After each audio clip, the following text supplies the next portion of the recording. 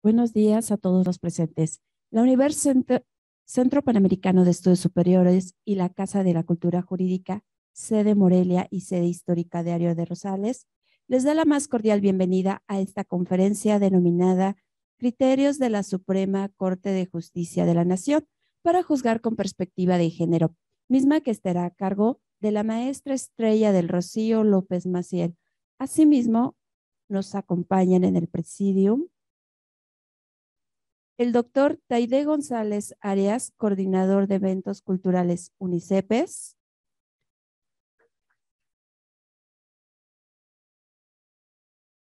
Licenciada Viridiana Elizabeth Martínez Bolaños, director de la licenciatura en Derecho UNICEPES.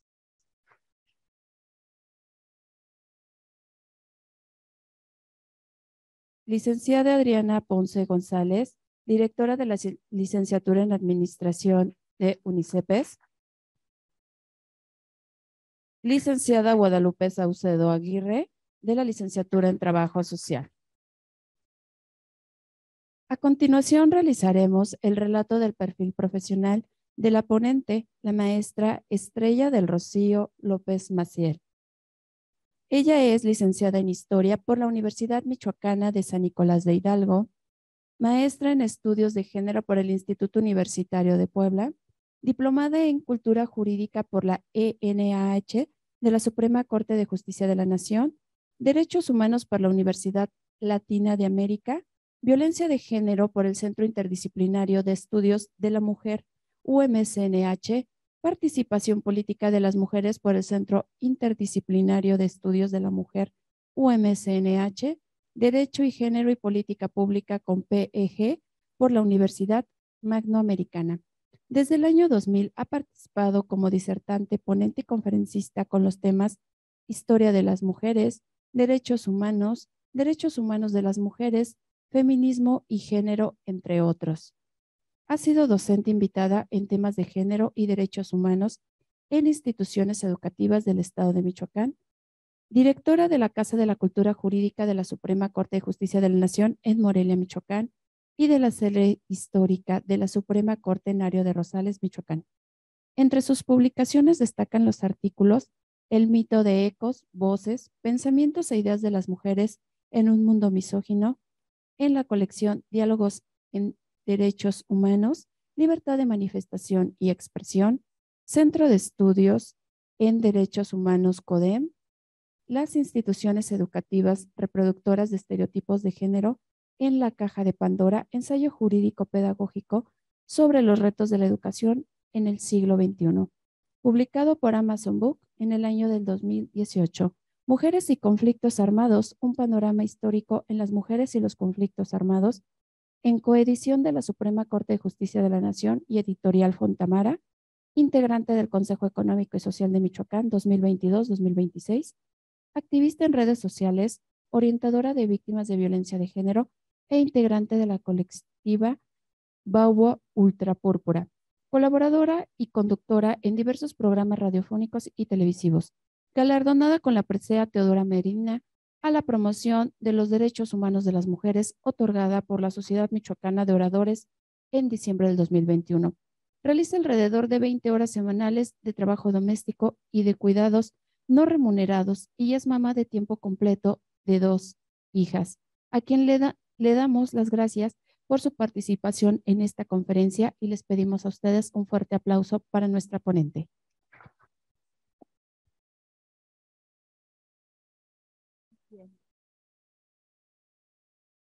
Gracias. No sé si está ya encendido el, micro, me parece que sí, ¿verdad? Ok, gracias. Muy amables, muchísimas gracias, gracias. Me siento muy, muy contenta, muy bienvenida, muy em, eh, pues abrazada por eh, esta institución. Muchísimas gracias a sus autoridades, a su rector, por supuesto, de quien recordábamos hace unos momentos eh, que, que ya teníamos alguna, alguna noción de nuestra existencia mutua.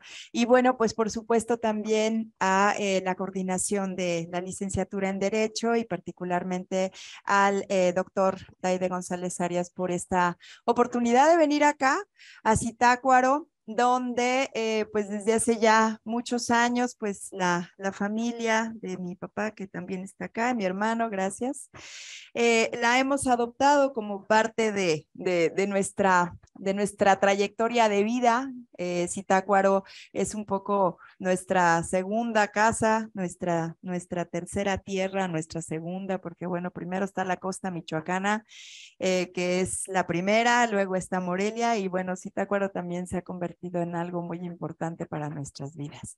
Entonces, bueno, pues em, yo eh, agradezco también, por supuesto, a nombre de, la institución en la que colaboro, la Casa de la Cultura Jurídica, que es una institución eh, que forma parte de una red de eh, espacios que se dedican justamente a la difusión de la cultura jurídica, jurisdiccional y de derechos humanos. Pero además de todo, pues todas estas cosas, como ya vieron, me gustan mucho. Entonces, pues bueno, vamos a, dar inicio. No sé hacia dónde tengo que apuntar, hacia acá o hacia allá. Hacia allá. Ah, ok. Bien. Y antes que cualquier otra cosa, pues creo que tenemos que hacernos una pregunta que es muy importante, porque, bueno, primero tendremos que definir un poco qué tiene que ver con el género, de qué hablamos cuando hablamos de perspectiva de género, qué implica. Entonces, bueno, primero que nada tendremos que preguntarnos por qué es que vivimos en desigualdad. Porque resulta que nuestra sociedad es una sociedad profundamente desigual. Es una sociedad en donde se vive el racismo, y no solamente en México, ¿eh? pero en, en, muchísimos lugares. Digo, lo veo ahora que todos, bueno, que muchas personas están llorando porque la sirenita es negra, ¿no? Este, entonces digo, no sé si hayan visto ese tema en redes sociales, pero ahorita todo el mundo está muy preocupado porque la sirenita es, es, este, es una persona de raza negra.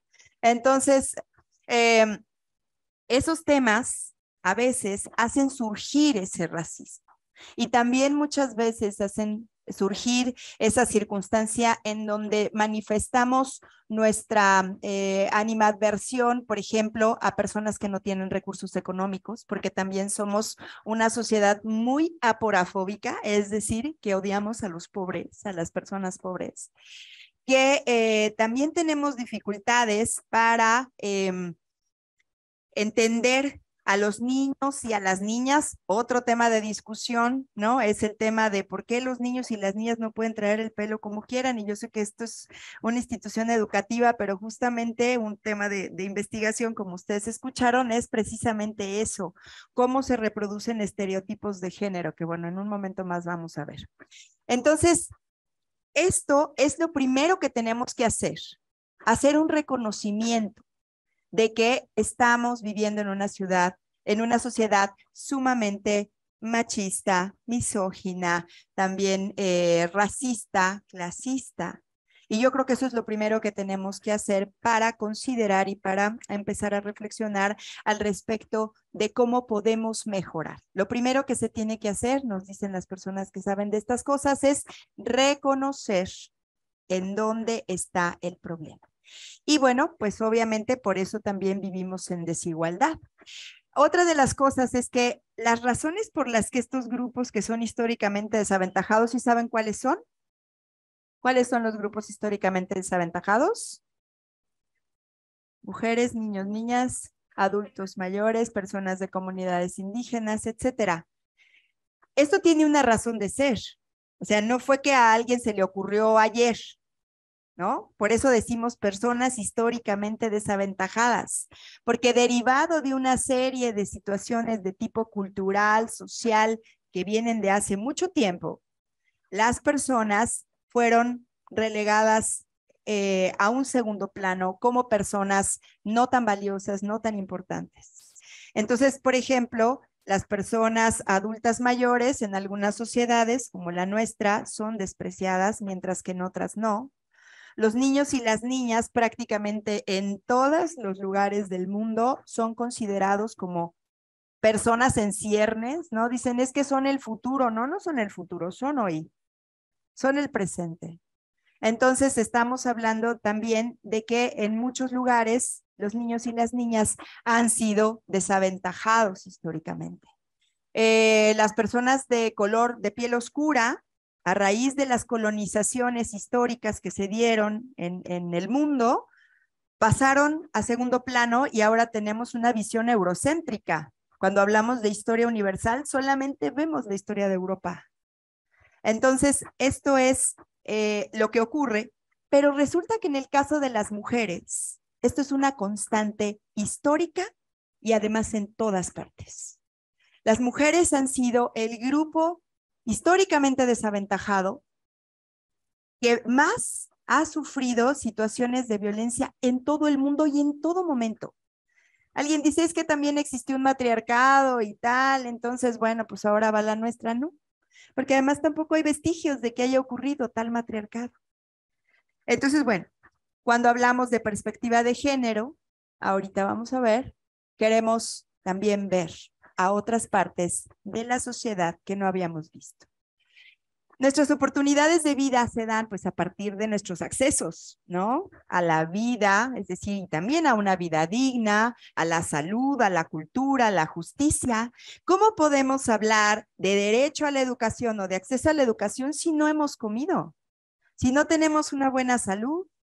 Como saben, además, todos los derechos humanos están interconectados, son interdependientes y por lo tanto de uno dependen los demás. Es como una silla, si tú le quitas una pata, se cae. Entonces, es importante que consideremos esta parte. Una de las razones por las que no hay estos accesos son derivados del sexo, que es esta parte biológica, y la construcción de género. Cuidado acá porque ahora se ha dado un poco de confusión el sexo es esa parte biológica que es visible, que es observable, ¿no? Esto que estos caracteres eh, sexuales secundarios, estas partes físicas, penes, vulvas, etcétera, que nos van a indicar el sexo, el XY, el XX. Hay algunas variaciones, pero son las mínimas. Y básicamente nuestra em, humanidad, el ser mamíferos también, nos hace así biológicamente sexo mujer o sexo hombre, y la construcción de género es ese proceso cultural y social que se da con posterioridad y que le atribuye cosas a cada sexo y que nos hacen pensar que son naturales. El rosa y el azul en cuanto naces, ¿no? Te enjaretan el color y ya no lo puedes este, cuestionar. El cabello corto y el cabello largo, ¿no? Y son también cosas incuestionables, ¿no? Y así, así como esos muchos otros aspectos que se construyen. El género es un constructo social y cultural a partir de el hecho biológico del sexo. Entonces, bueno, este, eh, el género ya definido más concretamente, valores, atributos, roles y representaciones que la sociedad asigna a hombres y mujeres. Y que al no ser algo natural, son perfectamente cuestionables y también perfectamente deconstruibles. El género, el sexo no. Y de hecho, deconstruimos cotidianamente el género. Por ejemplo, siempre nos dicen que los coches son para los niños, ¿no? Y las muñecas para las niñas. Bueno, pues yo manejo un auto. Entonces ahí deconstruimos género. Cuando hay hombres que cuidan a sus, a sus hijos e hijas, también contribuyen a esa deconstrucción de sus estereotipos de género. Al final de cuentas, no es pues tan estático. Se mueve, el género se mueve, es una, es una cuestión que igual nacemos con una eh, visión así muy recalcitrante, pero en el transcurso de nuestras vidas, muchas personas hacen movimientos es un continuum, digamos, ¿no?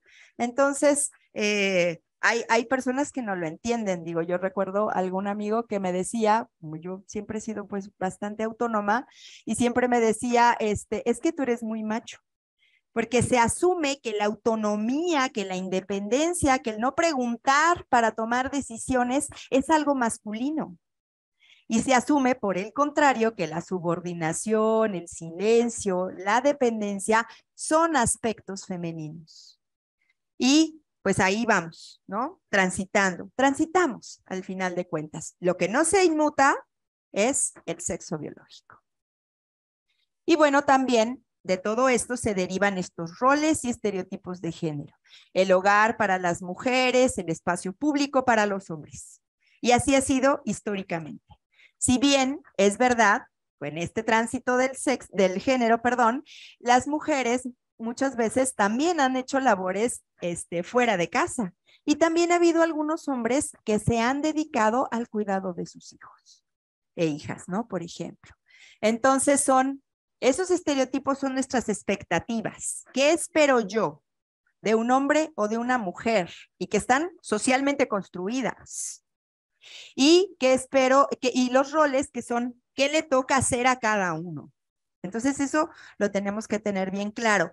Resulta que no sería tan importante si no fuera porque esos roles y estereotipos de género están tan introyectados en la sociedad que hay escuelas que están expulsando niños porque traen el cabello largo. ¿No? Perdón, espero no poner algo de ruido acá, pero, es, es verdad, el cabello corto es una expectativa al respecto de lo masculino. Y además, históricamente, no siempre ha sido así. Por ejemplo, siempre pintan al guerrero como alguien que no tiene cabellera, pero no sé si hayan visto películas así como japonesas o eso, donde los guerreros tienen el cabello largo, ¿no? Eso sí, bueno, tenía sus dificultades, según decían los romanos, porque pues de ahí te pescan, ¿no? Y las mujeres lo sabemos muy bien. ¿no? está el, tema de que pues, el del cabello te pescan. Pero bueno, pues mientras no sea cuerpo a cuerpo, no hay problema, ¿verdad? Pero ahí viene toda esa construcción también. Y el género decía, como es algo que se, que se puede cuestionar, pues, y como es algo que es, que, es mutable también, que en un momento dado puede cambiar, pues por eso tenemos estas diferentes visiones, ¿no? Eh, pero ahí están las situaciones de desigualdad en cifras. ¿Qué ha generado todo esto históricamente construido a lo largo de muchos, muchos siglos? Las mujeres realizamos el 50% de las horas trabajadas en el mundo, pero solo se paga un tercio de estas horas. Las mujeres constituyen dos terceras partes de los 960 millones de personas que no saben leer ni escribir. Las mujeres son dueñas de solo el 10% del dinero que circula y del 1% de la propiedad en el planeta. Dos terceras partes de los 1.300 millones de personas pobres en el mundo son mujeres. Cada minuto muere una mujer debido a complicaciones derivadas del embarazo y del parto. La mayoría de estos fallecimientos podrían evitarse. Según estimaciones de la Organización Mundial de la Salud, el 50% de las mujeres embarazadas en todo el mundo padece anemia. Y eso que dicen que la maternidad es lo más maravilloso y lo más lindo que nos puede pasar y a lo que la sociedad completa parece abocarse, ¿no? En cuanto ocurre, es que ahí está, pues es lo más bonito. Si no, si no, si no, las, mujeres que están acá, si no han tenido hijos, piénsenselo. Bien, ¿esto qué es? Esto se llama brechas de género. Brechas de género. Por ejemplo, eh, indican esta distancia que hay entre hombres y mujeres en relación con un caso concreto.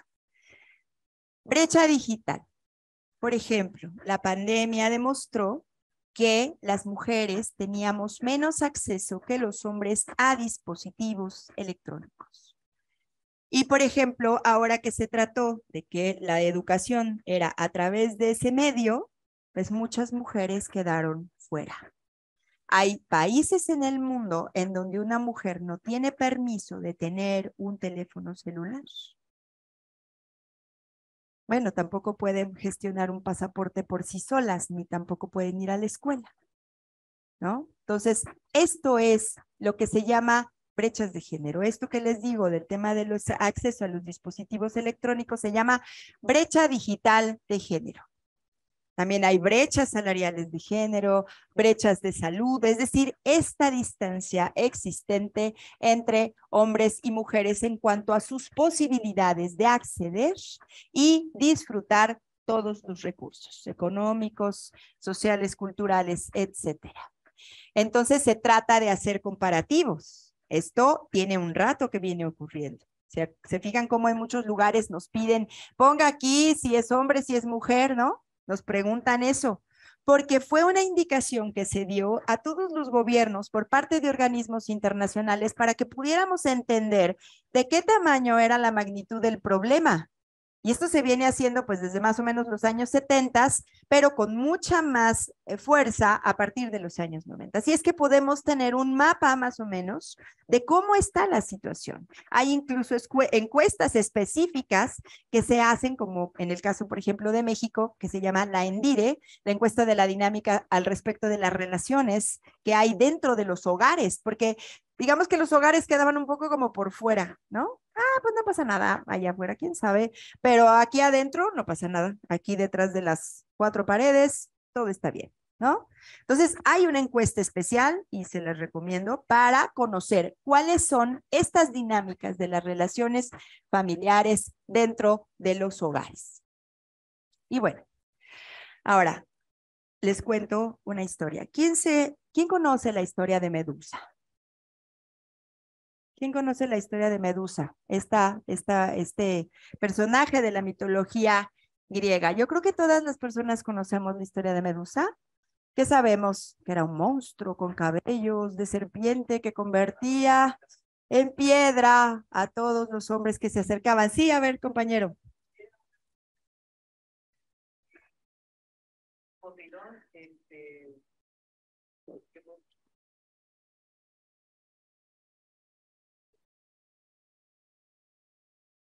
¿Sí? Que Poseidón la quito para él, la quito como su esposa, pero ella se negó. Eso arriba a de una mujer muy bella que ya le empezaban a adorar, que le dio técnica, que como castigo la comisión de luta. Para, para tratar de castigarla cuando ella le comete eso y todo eso para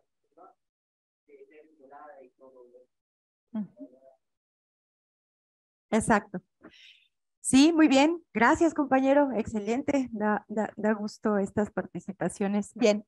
Medusa efectivamente es este monstruo del que sabemos eso, porque además sabemos también que quien la mató fue un individuo llamado Perseo, pero no sabemos que Medusa fue una mujer violada.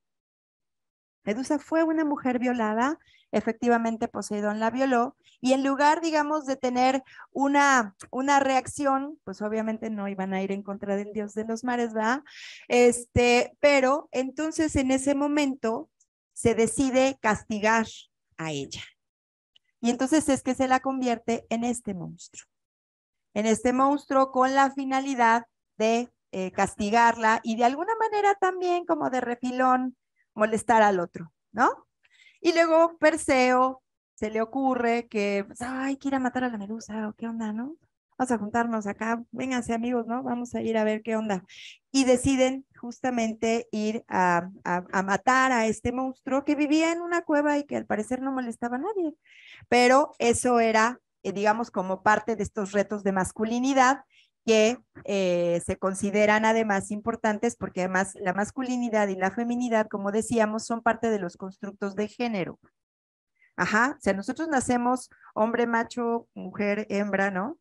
Pero en el trayecto nos convertimos en femeninos y en masculinos a través de la cultura. Pero bueno, digamos que ahí estaba. Y ahí está Perseo, ¿no? Con, con la medusa en actitud triunfal, eh, hay estas vasijas que representan ese hecho y pues estas esculturas también que nos muestran cómo se asesinó al, al monstruo, ¿no? Cómo se mató al monstruo y cómo al final también se obtuvo un premio por ello. Pero aquí hay otra historia, la medusa de Garbati. La medusa de Garbati es una escultura que se, que se, que se hizo, que hizo un autor italiano que se apellida justamente así, y que es esto, la mujer que se defiende de su agresor. Lo que este autor quiso expresar es justo eso. Ahora, en este caso, él la representó a ella con la cabeza de Perseo en la mano. Esta escultura se puso afuera de los tribunales en Estados Unidos que atendieron el caso de Harvey Weinstein. ¿Se acuerdan de Harvey Weinstein? El productor, superproductor, super hombre poderoso de Hollywood, a quien un grupo de mujeres comenzaron a acusar de abuso sexual y de violación. Y entonces, ¿se acuerdan? No sé si lo recuerden, pero se creó el famoso hashtag MeToo, donde decíamos, donde se, sumaban más personas y al final de cuentas fueron cientos de mujeres las que denunciaron la, eh, la violación, el abuso sexual.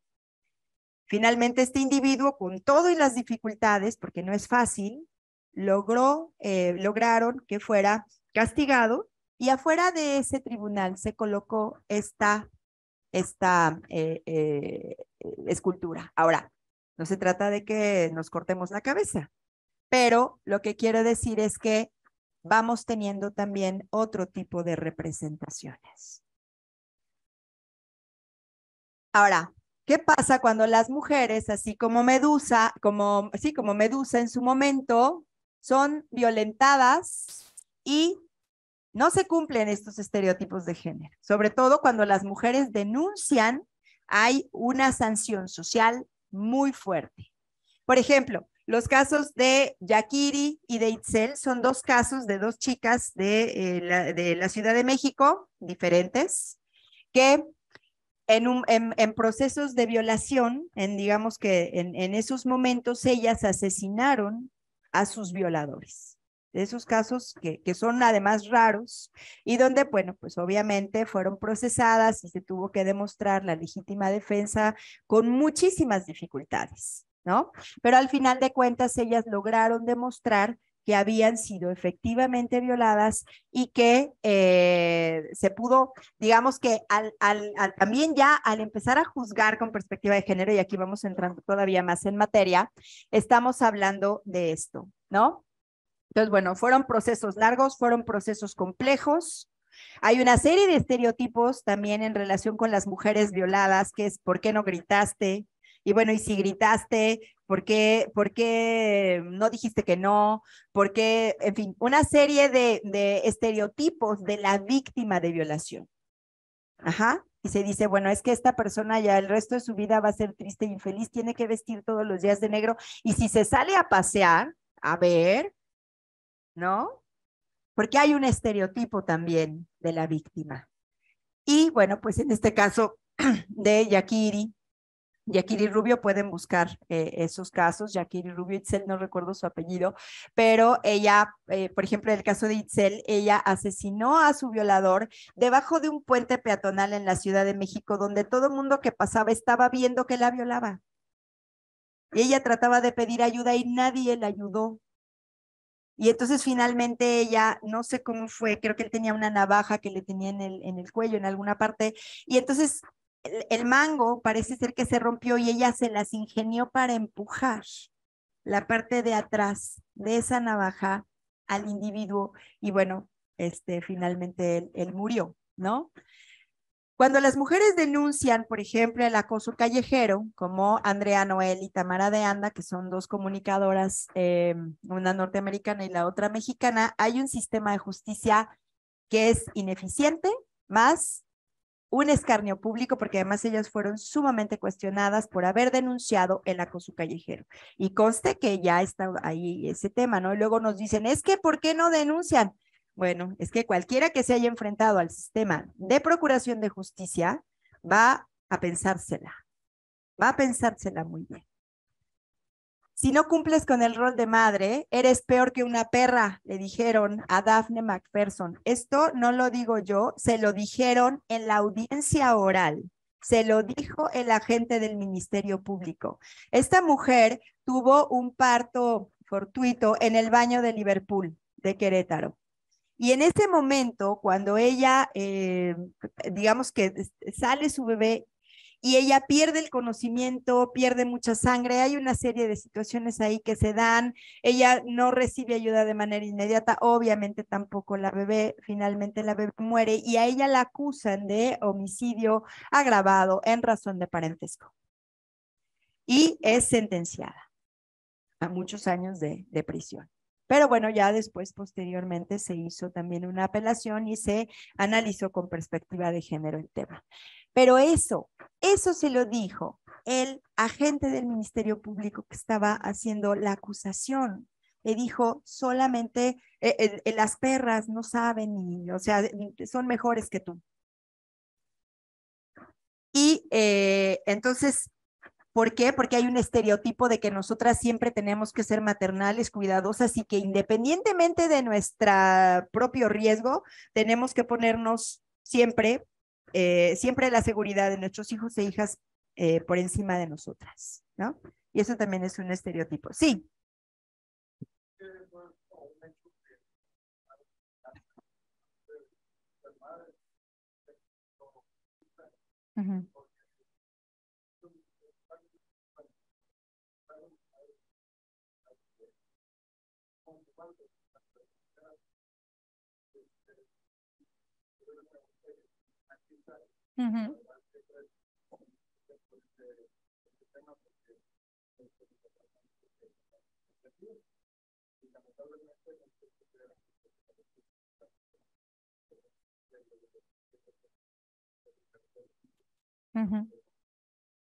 Así es.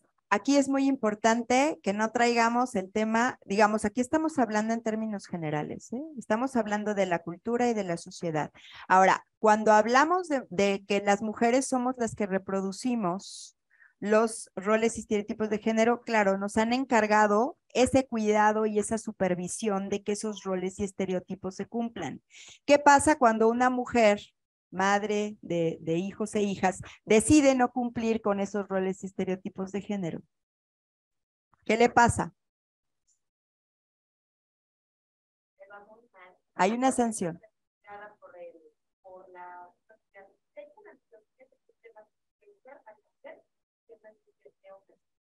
Ese es otro mito. Muy bien. Porque normalmente eh, digamos que, bueno, hay razones históricas para esto, ¿no? Pero normalmente se nos ha encargado a nosotras la tarea del cuidado de los hijos e hijas. De hecho, hasta hace muy poco tiempo, y todavía en algunos países no es así, una mujer no podría tener la patria potestad de sus hijos e hijas, sino que eso era exclusiva del padre. ¿No? Entonces, digamos que históricamente se nos encarga esa tarea, se nos encarga la tarea del cuidado, de la atención de los hijos, de la atención del hogar, de la reproducción de las, de las tareas domésticas y de cuidado, de la reproducción de la fuerza de trabajo. ¿Y qué va a pasar? Pues obviamente que lo vamos a reproducir conforme lo que se dicta. Porque, y les cuento rápidamente el caso de una, de una mujer que hace algunos años decidió romper un poco con los roles y estereotipos de género, fíjense nada más, mandando a su hijo a la escuela con el cabello un poquito más largo. La, la, violencia de la que esta mujer fue víctima fue tal que ella tuvo que irse de su, de su lugar donde vivía porque ella, bueno, promovió algunas acciones para que no expulsaran a su hijo de cuatro años de la escuela. Entonces, este, estos, y estos casos son muchos. ¿Qué pasa cuando yo le doy a un niño una muñeca siendo mi hijo? Van a llegar y van a decir, ¿por qué le das una muñeca? ¿No? Van a llegar y van a cuestionar. Entonces, esa, esas ideas, esa idea de que sí, o sea, es cierto, nosotras transmitimos información, pero también los padres transmiten información, pero también la sociedad transmite información. ¿Qué nos dice la iglesia? ¿Qué nos dicen los medios? ¿Qué nos dice el sistema educativo? Todos, todo el sistema refuerza eso que hacen las madres en buena medida. Y entonces, y si realmente cuestionamos el machismo, ¿no? Entonces tendríamos que estar cuestionando todo el sistema, el sistema jurídico también. Y apenas recientemente es que estamos empezando a tener otras situaciones. En el año 2000 y hasta que se creó el primer código familiar, eh, el código, estaba el código civil y el código civil establecía que para que una mujer pudiera tener fuera de su casa trabajo remunerado, tenía que pedir permiso a su marido y tenía que haber cumplido con las tareas domésticas y de cuidado. Y eso estaba en la ley. Entonces, eso quiere decir que es parte de la cultura. Y las mujeres, al ser una parte también históricamente desaventajada, muchas veces no podemos cuestionarlo, pero ahora sí lo estamos haciendo. Eh, bien, en los años 70 surge la CEDAW, después de esfuerzos muy largos para el, el, reconocimiento de la existencia de la discriminación contra las mujeres. La CEDAW es la Convención para la Eliminación de todas las formas de discriminación contra las mujeres. Esas son sus siglas en inglés. Y es el primer tratado internacional que reconoce que existe esa discriminación y que a través de sus diferentes comités, de su comité, perdón, de atención y de sus diferentes recomendaciones, nos ha ido diciendo cuáles son los alcances de cada uno de los derechos para las mujeres. Entonces, es importante que, y atendiendo al artículo primero constitucional que nos dice que también los tratados internacionales forman parte de la norma mexicana, tenemos que conocer CEDAW, porque además es un tratado internacional que nuestro país firmó en el año de 1981, porque CEDAW es de 1979. Y fue toda una batalla para poder conseguir, ¿no? Entonces, es específicamente diseñado para proteger y garantizar los derechos de las mujeres, define lo que es la discriminación, eh, compromete a los estados, fíjense, y eso es muy bueno y qué bueno que eh, esta institución esté trabajando en ello, porque compromete a los estados a superar prejuicios, costumbres y prácticas sociales y culturales que se basan en la idea de la superioridad o inferioridad de alguno de los sexos. Y em, sirve para dar legitimidad y base jurídica a toda demanda a favor de los derechos humanos de las mujeres. Y esta es su recomendación general número 33 sobre el acceso de las mujeres a la justicia, porque tiene, como les decía, diferentes recomendaciones generales respecto de la educación, respecto de las costumbres, respecto de em, la salud, etcétera, ¿no? Y esto es lo que nos dice. La justiciabilidad requiere el acceso irrestricto de las mujeres a la justicia, así como la capacidad y el poder para reclamar sus derechos en virtud de la convención, CEDAW, como derechos jurídicos. Ajá. Y nos dice a qué nos referimos con justiciabilidad, ¿no? Este, por ejemplo, nos pide a los estados parte asegurar los derechos y protecciones jurídicas que se reconozcan y dice, mejorando la sensibilidad del sistema de justicia a las cuestiones de género. El hecho de que ustedes hoy estén teniendo esta charla atiende también a esa, a esa, o, se alinea pues a esa recomendación de este organismo internacional. Mejoren el acceso irrestricto de las mujeres al sistema de justicia, que se, que se atiendan los profesionales, que se asegure que los profesionales y las profesionales saben de género. Eso es importante, ¿no? Entonces, bueno, qué bueno que estamos acá también. Em, abordar la corrupción eh, de los sistemas de justicia como un elemento importante para eliminar la discriminación contra la mujer en cuanto al acceso a la justicia, eliminar los obstáculos revisar las normas sobre carga de prueba para asegurar la igualdad en las partes, entre las partes, cooperar con las organizaciones civiles, hacerse uno con ellas, porque las organizaciones civiles van recogiendo información. De hecho, CEDAW, eh, cada, cada determinado tiempo, nuestro país rinde un informe a CEDAW y resulta que el informe que se rinde a CEDAW por parte de nuestro país luego a veces tiene números muy alegres, pero también las comisiones recomiendan o buscan estos informes sombra que les llaman, que son los informes de la sociedad civil. Y entonces dicen, bueno, a ver, aquí México me está diciendo tal cosa, pero acá el informe sombra dice que no, que no lo has atendido. Y entonces con base en ambas visiones es que se da estas recomendaciones y se hacen estas revisiones al seguimiento de estas recomendaciones. Bien. Eh, asegurarse que, las que los defensores de derechos humanos de las mujeres tengan acceso a justicia y reciban protección contra hostigamientos, amenazas, represalias y violencia. Eso también es muy importante, sobre todo en un país como el nuestro, en donde se persigue mucho a todas las personas defensoras de los derechos humanos. Este es un país que persigue a sus defensores de derechos humanos.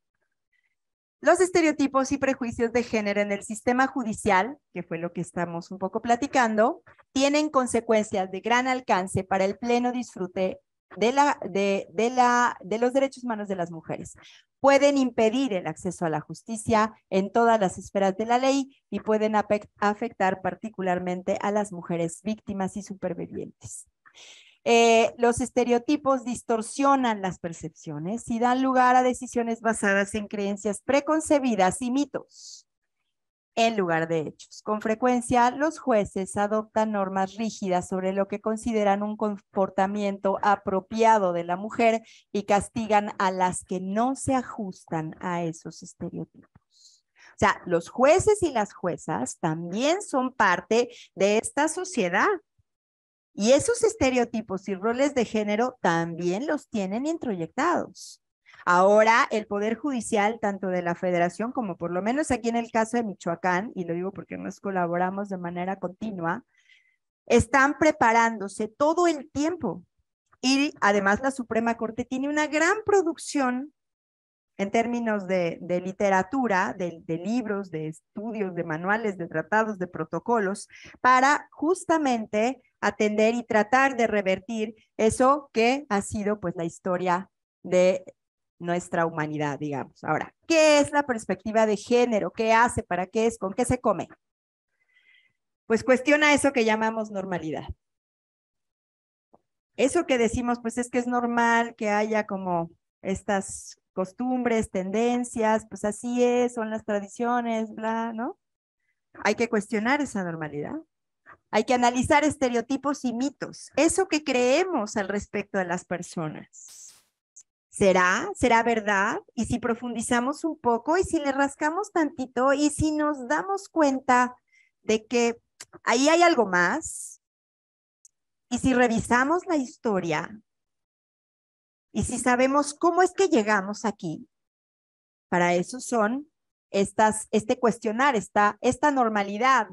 Creemos que las cosas han sido eternas y no es así. Han tenido un proceso evolutivo y eh, tuvieron un origen en alguna razón, en algún hecho a lo mejor práctico, pero luego se convierten en costumbres, pues porque sí, ¿no? Y al final de cuentas dejamos de cuestionarlas. Se develan las creaciones culturales que presentan la desigualdad entre los humanos como algo natural. Entonces, ¿por qué hay unas personas que tienen más cargas que otras?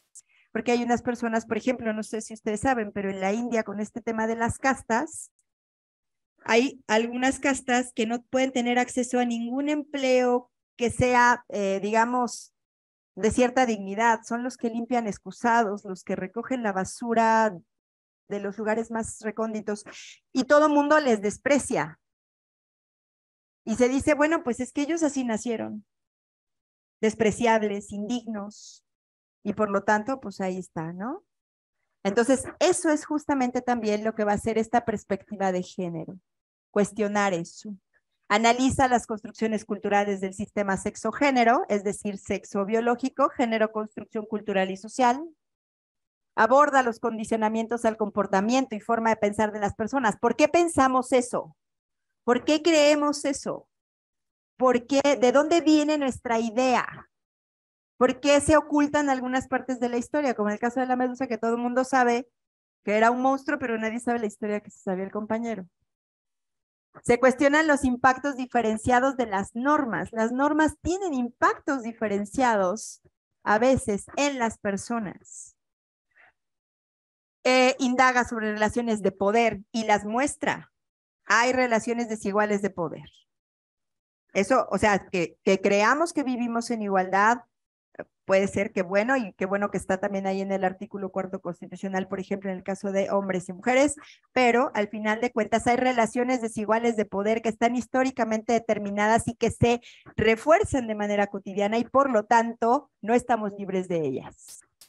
Y además, no es que refiera a asuntos de mujeres, la PEG es la perspectiva de género, no refiere exactamente a asuntos de mujeres, aunque sí visibiliza a esa parte históricamente ocultada de la sociedad. ¿Por qué es importante? Pues porque eh, esta aplicación radica en mejorar esas posibilidades. Me voy a ir un poquito más rápido. Y bueno, aquí llegó con la sentencia Mariana Lima, que son dos sentencias de la Suprema Corte de Justicia de la Nación que quiero mostrarles, y la de acceso a la igualdad, acceso a la justicia en condiciones de igualdad. Y son los elementos para juzgar con perspectiva de género que en el año 2016, en la décima época, la primera sala de la Suprema Corte de Justicia de la Nación elaboró. Y este es un caso que es paradigmático en nuestro país. El caso de Mariana Lima se convirtió en un caso muy famoso y llegó hasta la Suprema Corte como el primer caso de feminicidio que la Corte analizó y que llegó hasta esa instancia. Porque normalmente muchos feminicidios han, han sido pasados por suicidios. Y así fue el caso. Este individuo asesina a su esposa, Mariana Lima, y le dice a todo mundo, él era policía, él le dice a todo mundo que ella se suicidó. La señora Irinea Buendía y su esposo, Irinea Buendía es hoy por hoy todo un ícono en la lucha por la historia, eh, por la, por la justicia para las mujeres, si no, búsquenla y la van a encontrar.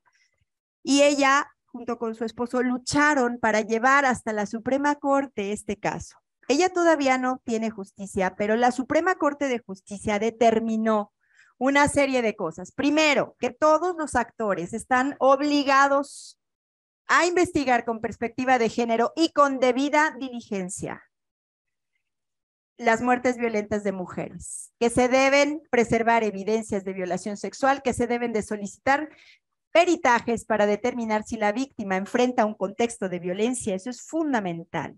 Porque acuérdense que el tipo penal del feminicidio justamente establece parte de eso, que si haya vivido violencia, que si la persona que, le, que eh, en fin, que si ella tenía una situación de antemano este, con, el, con el agresor, por ejemplo. Explotar todas las líneas de investigación para concluir si se trató o no de un feminicidio. Ajá. Esto es lo que nos dice la Corte en relación con ese tema, insisto, la sentencia se llama Mariana Lima como parte de la reparación del daño. Esta sentencia sobre feminicidio se le dio ese nombre por, por ella. Y es muy curioso porque la señora Irina Buendía dice, bueno, es que mi hija estudió derecho, porque su hija era abogada, y dijo, porque ella quería defender a todas las mujeres. Y ahora con esta sentencia a la que la Corte, de alguna manera, y que se conoce así como la sentencia Mariana Lima, ahora lo está haciendo a través de esta sentencia, ¿no? Es esa lucha muy grande, muy fuerte que le llevó años y años y que hasta el momento todavía no logra una sentencia condenatoria para el agresor. Pero bueno, ahí va. Y este otro, que es fundamental. Este digamos que en términos de perspectiva de género, tiene que ser una especie de, manual y aparte de aquí, de, este, de esta, de esta eh, jurisprudencia, se deriva, por ejemplo, el protocolo de actuación para juzgar con perspectiva de género que hizo la Suprema Corte de Justicia de la Nación ya en su segunda edición, corregida y aumentada. Entonces, eh, primero, identificar Primeramente, si existen situaciones de poder. ¿Se acuerdan que hablábamos hace rato de la importancia de identificar las relaciones desiguales de poder? Bueno, eso es parte de lo que dice. Que por cuestiones de género den cuenta de un desequilibrio entre las partes de la controversia. Luego, cuestionar hechos y valorar pruebas desechando cualquier estereotipo o prejuicio de género. ¿No? Es, es que las mujeres no deberían, es que los hombres no deberían, es que tal, ¿no? Em, Luego, eh, en caso de que el material probatorio no sea suficiente para aclarar la situación de violencia, vulnerabilidad o discriminación, ordenar las pruebas necesarias para visibilizar dichas situaciones. Llegar lo más lejos que se pueda, ¿no? De detectarse la situación de desventaja, cuestionar incluso la eh, neutralidad del derecho aplicable se imagínense si hay un juzgador que está juzgando con el Código Civil de del año 2000 y créanme que todavía existen ese tipo de legislaciones. En el estado de Nuevo León, por ejemplo, hay una eh, de, esas de rapto que dicen que la mujer no puede denunciar a su raptor si él se casa con ella y todavía está ahí. Entonces, pues hay que cuestionar esa parte, ¿no? Y eh, eh, aplicar estándares de derechos humanos de todas las personas involucradas, especialmente de niños y niñas, por supuesto, y considerar que el método exige en todo momento que se evite el uso del lenguaje basado en estereotipos o prejuicios. ¿Se acuerdan del caso de Daphne McPherson, no? O sea, ese tipo de, de lenguaje, pues no va, ¿no? Por lo que debe procurarse un lenguaje incluyente con el objeto de asegurar un acceso a la justicia sin discriminación por motivos de género. Y esto es lo que la Suprema Corte dice en relación con esto y pues que es nuestro parámetro. ¿No? Porque al final de cuentas esto es hacia hacia dónde iremos. ¿no? En este proceso evolutivo del derecho, hacia dónde vamos a ir es hacia esta parte, al menos eso parece, y entonces, bueno, pues para poder estar al día, pues tenemos que trabajar en estos temas. y aquí, bueno, hay varios casos. Eh, por ejemplo, este es un adolescente que quiso interrumpir eh, su embarazo producto de una violación. Presentó la denuncia ante, después de haberse enterado de su embarazo el juez que conoció el caso negó la protección, sin embargo, la víctima y su madre impusieron un recurso de revisión. Eh, y el tribunal colegiado le solicitó a la corte que resolviera el asunto. Eh, la primera sala eh, estableció el tema de la inconstitucionalidad del artículo 158 que limita la interrupción del embarazo producto de una violación al plazo de 90 días después de la concepción y condiciona la existencia de una eh, denuncia previa al delito. ¿Qué fue lo que argumentó la Corte? Pues que hay una vulneración, grave a los derechos humanos de las mujeres, eh, a no ser sometidas a tratos crueles, inhumanos o degradantes, lo que puede implicar, por ejemplo, un embarazo por violación. Restricción al derecho a la salud, por supuesto, también, con una sentencia, con una disposición como esta, y además a derechos reproductivos de las mujeres. Hay también estereotipos de género que no se toma, en donde no se toma en cuenta la condición de adolescente, mujer y víctima de violencia sexual.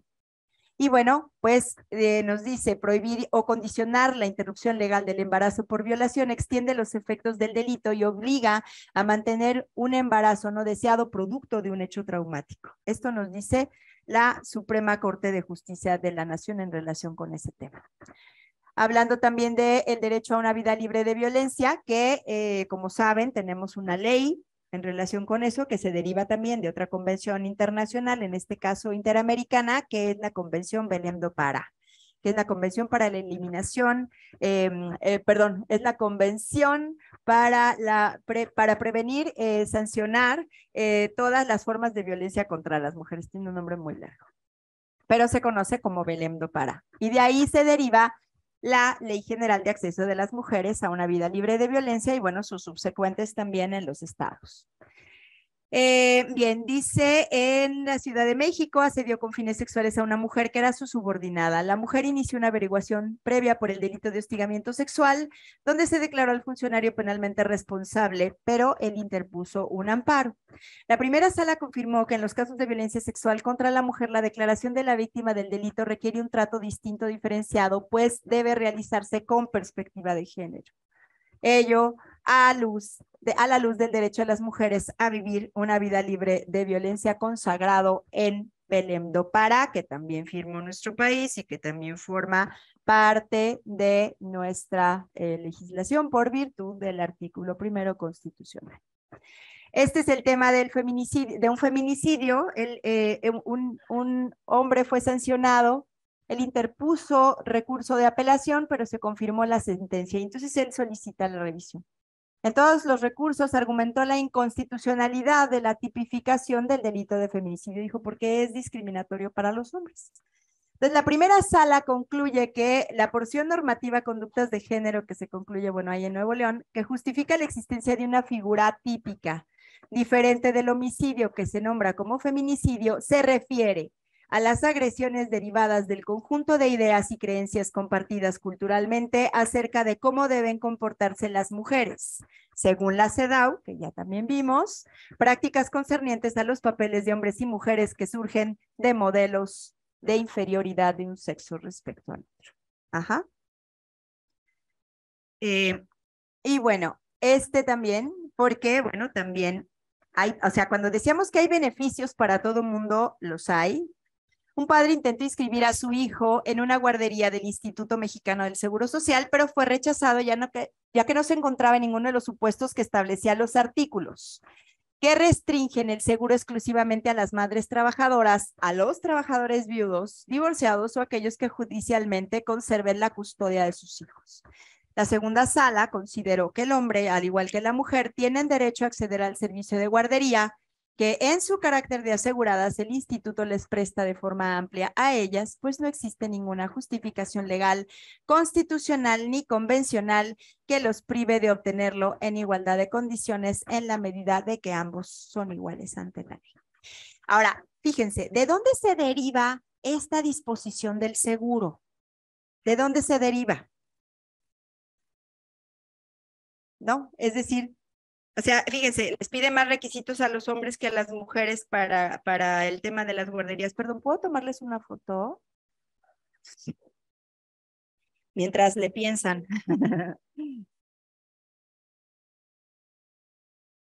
¿Sí? ¿De dónde se derivan? ¿Hay ahí estereotipos y roles de género? ¿Cuáles son?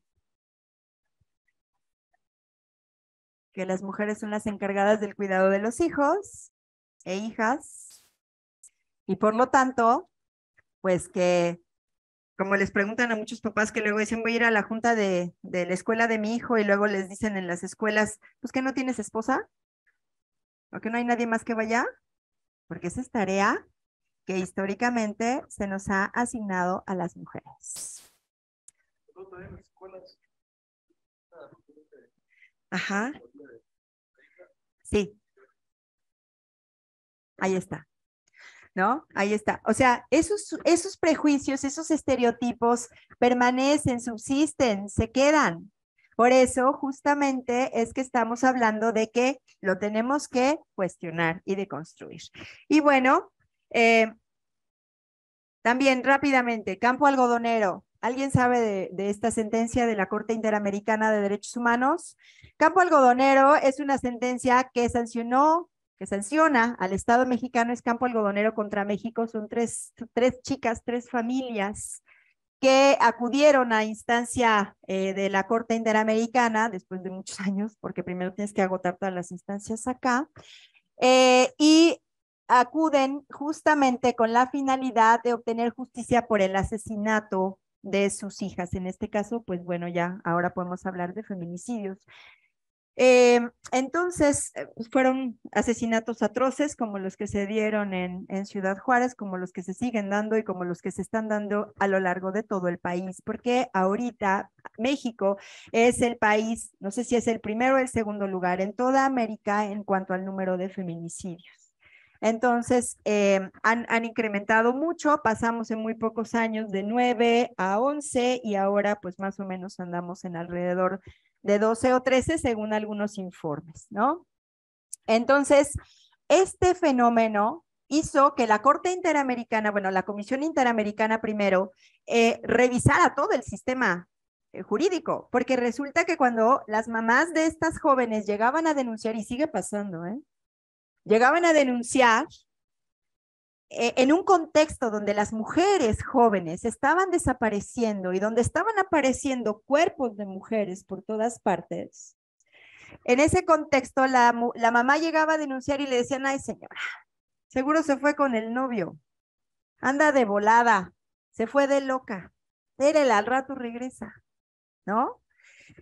Derivado de esto, de todas estas cuestiones y de estos análisis y de estos estudios, pues todavía hay quienes les dicen que tienen que esperar, ¿qué? 42 horas o 78, ¿cuántas? No debe de ser. Las alertas, por ejemplo, las alertas Amber o las alertas Salva se deben de lanzar de inmediato que se recibe la denuncia de la desaparición de una niña o un niño de una mujer, ¿no? Porque, bueno, pues ese es también el tema del contexto. Y eso era lo que pasaba, más aparte que nos investigaba, en fin, una serie de cosas, de verdad era una cosa terrible lo que pasaba ahí.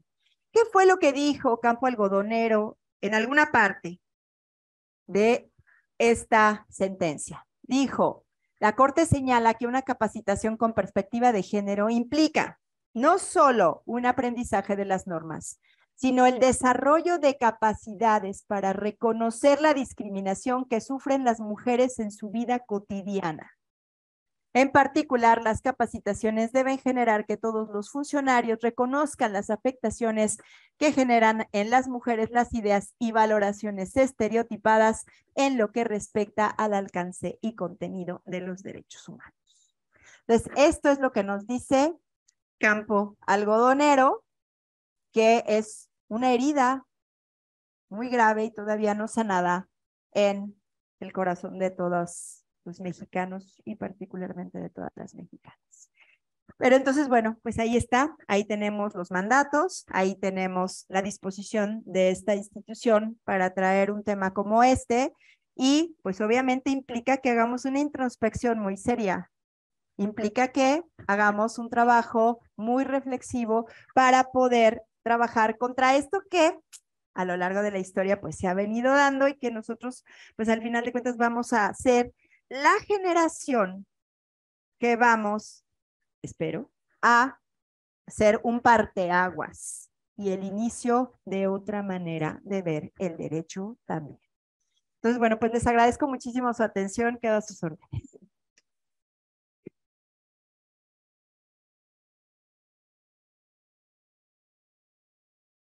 Gracias, maestra, por su...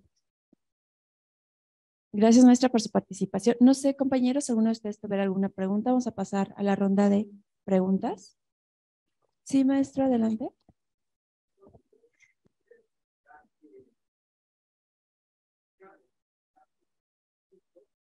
El hecho de la, de la inclusión con el tema de las normas y las reglas.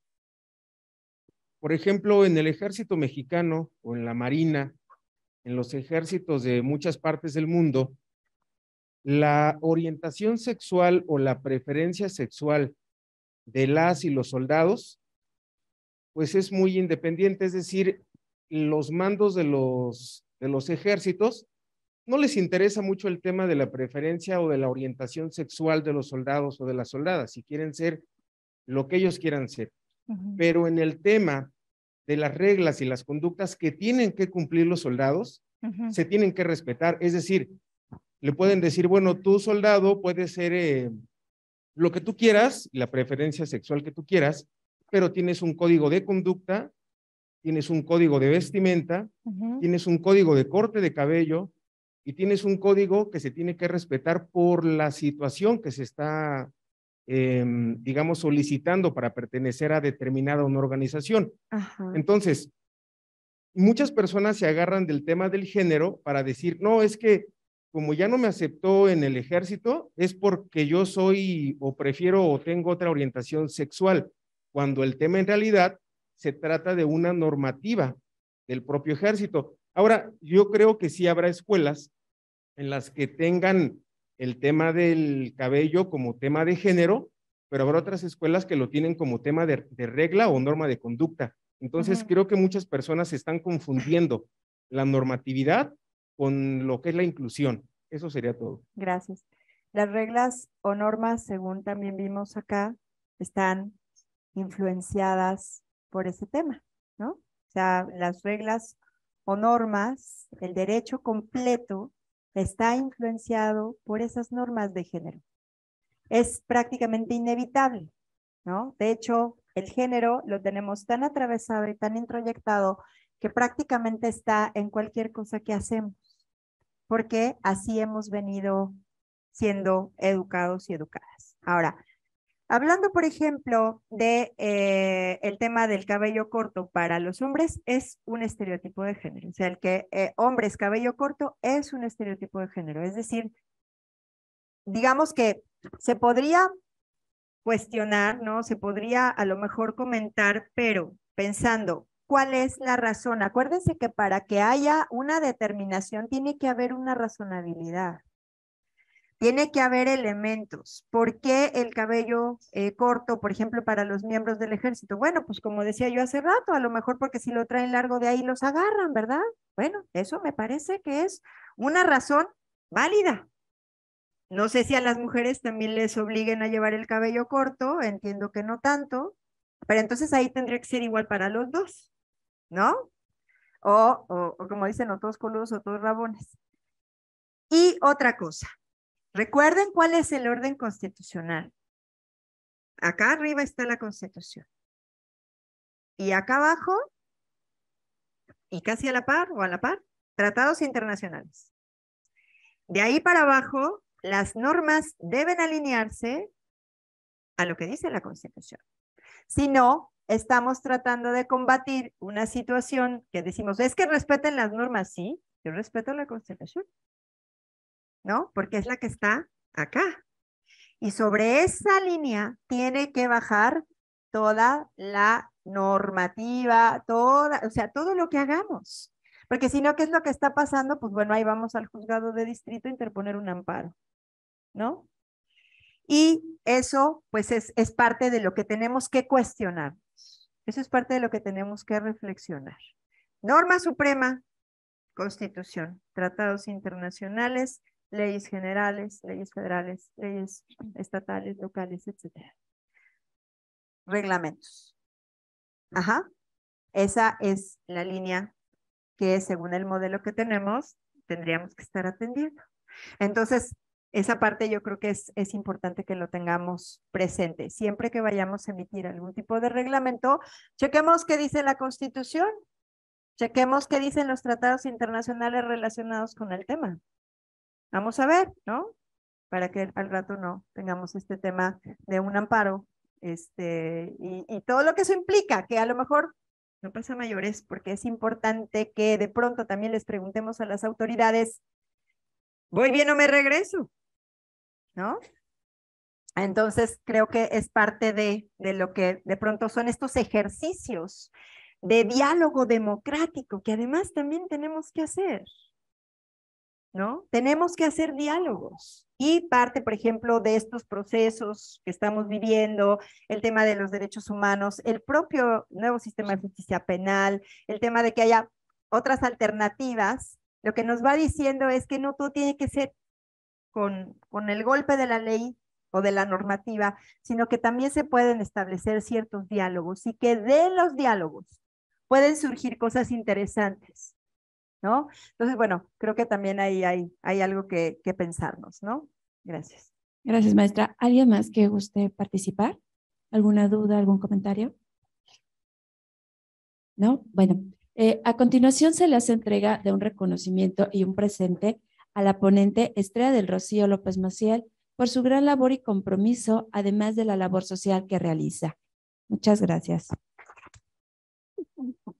Muchas, muchas gracias. Muy amable. Gracias.